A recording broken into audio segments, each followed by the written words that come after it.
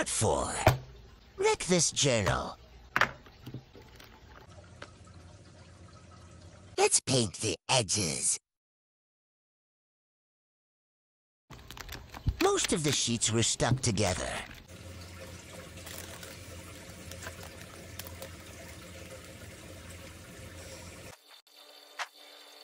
Now let's copy the edges.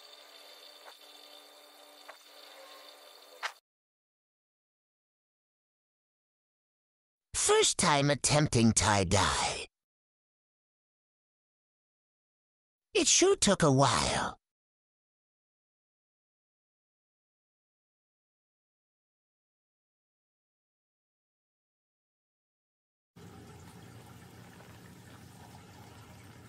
What do you think?